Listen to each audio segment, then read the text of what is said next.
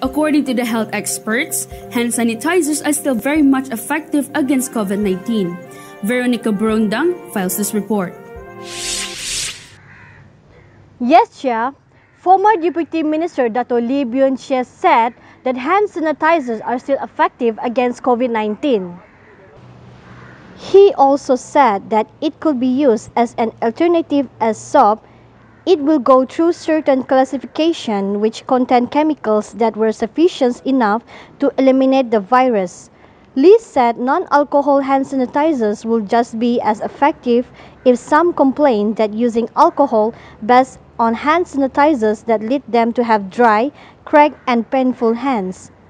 However, Malaysia's Medical Association's MMA president, Dr. Koh Kar Chai said hand sanitizers were recommended as they had the ability to inactive coronaviruses.